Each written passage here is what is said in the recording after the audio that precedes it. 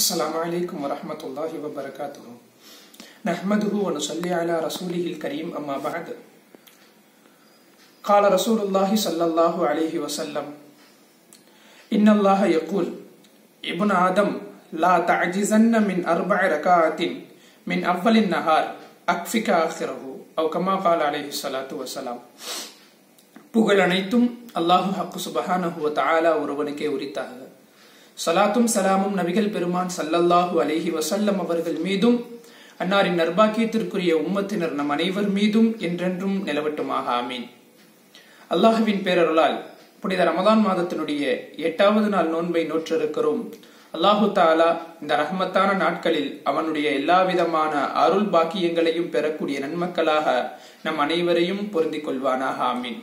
மீண்டும் ரமலானுடைய எல்லா விதமான நோன்புகளையும் நல்ல முறையில் நோற்று ஆரோக்கியத்துடன் வாழக்கூடிய நல்ல நசீபையும் அல்லாஹ் நம் அனைவருக்கும் தந்தருள் புரிவானாக. ஆமீன்.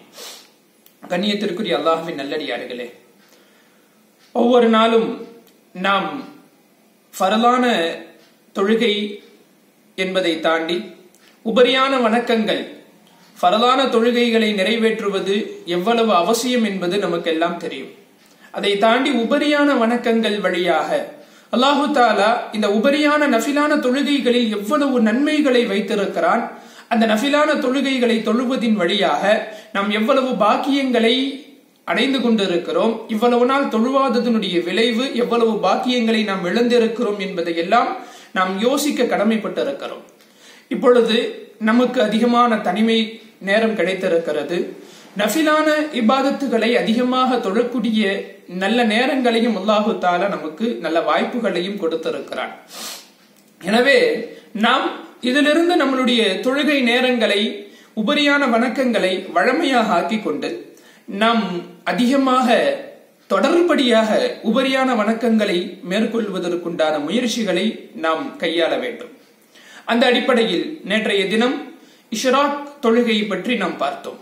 சூரியன் உதயமானதிலிருந்து ஒரு பதினைந்து இருபது நிமிடங்கள் கழித்து இஷராக்கினுடைய நேரம் ஆரம்பமாக ஆகிறது. நான் மேலே வாசித்த ஹதீஸிலே அல்லாஹு சொல்வதாக நாயகம் சல்லல்லாஹு அலிஹி வசல்லம் அவர்கள் சொல்லுவார்கள் ஆதமுடைய மகனே பகலினுடைய ஆரம்பத்தில் நான்கு ரக்காத்து தொழுவதை விட்டும் நீ இயலாதவனாக ஆகிவிடாதே. பகலினுடைய ஆரம்பத்தில் நான்கு ரக்காத்தை தொழுவதை விட்டும் நீ இயலாதவனாக ஆகிவிடாதே. அவ்வாறு நீ தொழுதால் பகல் முழுவதும் உனது காரியத்திற்கு நான் பொறுப்பேற்றுக் கொள்வேன் என்று அல்லாஹு தாலா கூறுவதாக நாயகம் சல்லல்லாஹு அலிஹி வசல்லம் அவர்கள் நமக்கு சொல்லித் தருகிறார்கள். கண்ணியத்திற்குரிய அல்லாஹுவின் நல்லடியார்களே முஹத்தீசின்கள் இந்த ஹதீஸிற்கு விளக்கங்கள் தருகின்ற பொழுது இரண்டு வகையான சொற்களை சொல்லுகிறார்கள். ஒன்னு இந்த சிறப்பு இஷ்ராக்குனுடைய தொழுகைக்கும் இந்த சிறப்பு பொருந்தும். லொஹாவனுடைய தொழுகைக்கும் இந்த சிறப்பு பொருந்தும் என்பதாக முஹத்தீசின்கள் நமக்கு விளக்கம் தருகிறார்கள்.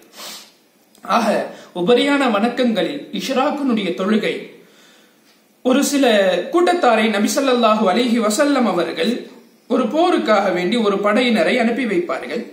அவர்கள் வெகு சீக்கிரமாக திரும்பி வருவார்கள். வெகு சீக்கிரமாக அதிகமான கனிமத்து பொருட்களுடன் திரும்பி வருவார்கள்.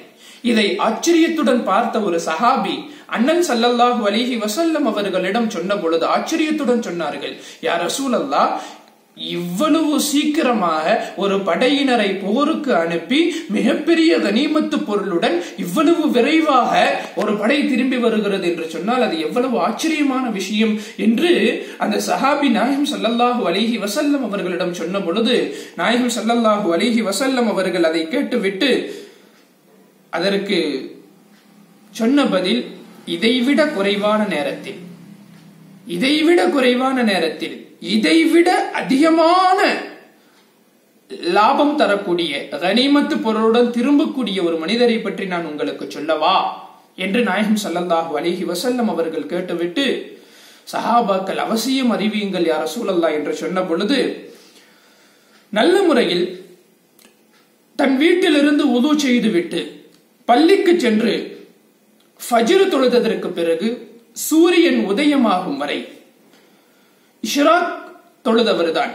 சூரியன் உதயமாகும் வரை அதே இடத்தில் அமர்ந்து சூரியன் உதயமானதற்கு பிறகு இஷ்ராக் தொழுகையை நிறைவேற்றியவர் ஒரு போருக்கு சென்று வெற்றி வாகை சூடி அதிகமான கனிமத்து பொருளை எடுத்து தனக்காக சொந்தமாக்கிக் கொள்வதை விட அல்லாஹனுடைய பள்ளிக்கு ஃபஜ்ரு தொழுகைக்காக வேண்டி வீட்டிலே உது செய்து விட்டு சென்று பள்ளியிலே தொழுகைக்காக ஃபஜ்ர் தொழுகையை நிறைவு செய்துவிட்டு சூரியன் உதயமாகும் வரை காத்திருந்து இஷராக்கு தொழுகையை தொழுபவர் இதைவிட அதிகமான செல்வங்களை பெறுகிறார் என்று நாயகம் ஸல்லல்லாஹு அலைஹி வசல்லம் அவர்கள் நமக்கு சொல்லித் தருகிறார்கள்.